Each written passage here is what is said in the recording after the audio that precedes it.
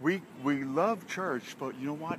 We're more into telling people that like whenever people usually ask us what church we go to, we like to say we follow Jesus. Yeah.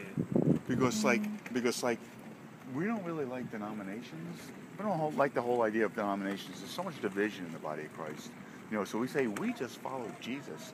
He lives in us and he's also everywhere else, you know, by the power of the Holy Spirit.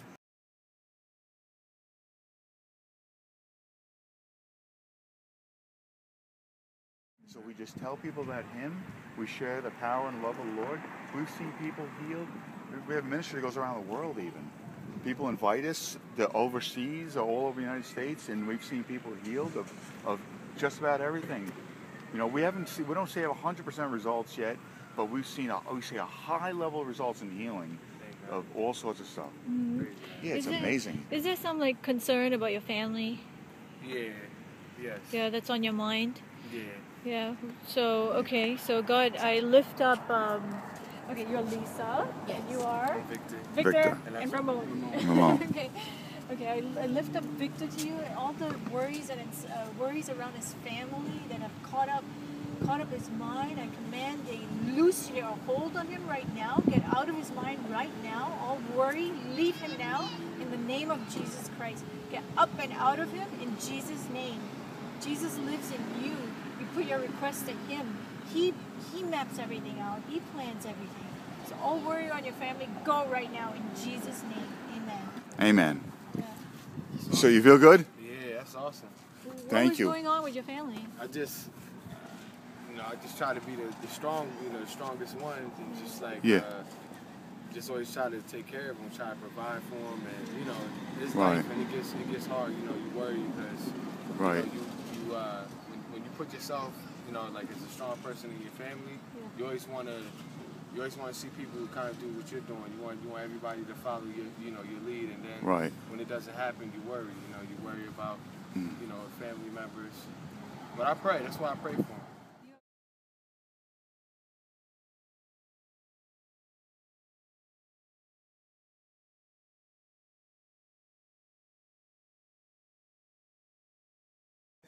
them. Yeah. Yeah, when we were talking, I felt like you felt, even though your dad lives with you, which you revealed afterwards, that you felt like you had to be the man in the family because your dad's not doing it, and you have you're so much goodness in you. You want to restore the family, Yeah. and all that burden's on you. So you have to step in and be the dad, even though your dad's right there. Yeah, that's true. That was a good word. Yeah, that was all. Thank God. That's, I should have got I that. you Should have going. 'cause Your, recorded. your, your, your prophesying is, is Yeah. there. It's there. Yeah. It's Well, there. well, what I feel, what I'm getting is like the Holy Spirit is just so proud of you. You- It's just you're such an amazing person. I, everybody you know? says that. And you're choosing good people too. Like you have the discernment. You choose good people around you. Like you've got good Yeah, we friends. grew up yeah. together. Yeah. Hmm. So all of you have that similarity. Even though you could be in a neighborhood where there's other influences, you still use your discernment. So continue to use the discernment. Yes. Yes. And reach for him. Yeah. Yeah, it is rough. It's Do- rough where we live. You want to start your own business? I would love to. Yeah. I, I would love to. Uh, any, any, anything. Fitness? Yeah, I like fitness. Yeah. I, like, I just want to be successful, really. Like, Yeah. wh- wh- whatever God, where He puts me, Yeah. I'm, I'm ready. I'm, re- I'm ready to take. So you so you feel you have a good business mind, right? So you feel like you have a good business mind? Yeah, I do. I do. I do because I, I always like. I went to school for it. I went to Right. college. I went to college for business. For business, yeah. At- at They can see that. Yeah, at first it was something I loved, and then after that I started like I started like getting really like deep in like fitness, sport, you know, sports, fitness, health, Right. things like that. That nature. Yeah. I just like I just like really. I But you really- but you're, you're a hard worker. Yeah, like like Ahava was saying, you're a hard worker. So like you and you have All good managerial skills. Yes. yes. So like maybe you- leadership. I have Yeah. good leadership qualities. Yeah, so Lord bless him. Bless him with a business, Lord. Open up a door of favor.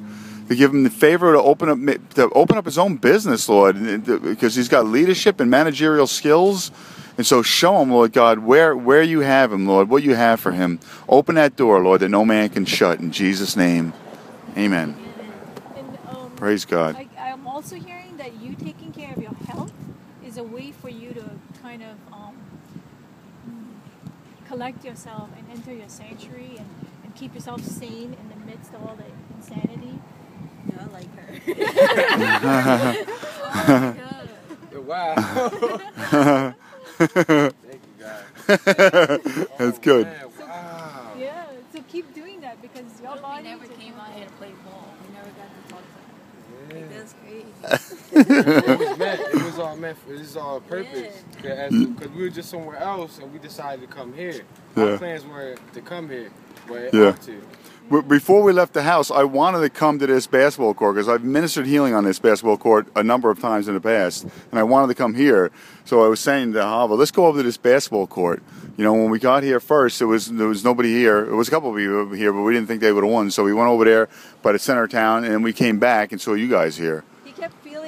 He kept feeling that we should come Yeah. to the basketball court. Yeah, It was a last minute, like. That's awesome. That's Yeah. awesome. And I It's amazing. I just got out of church like not that long ago, so that's awesome. That just that just Right. adds on to how good I was feeling already. yeah.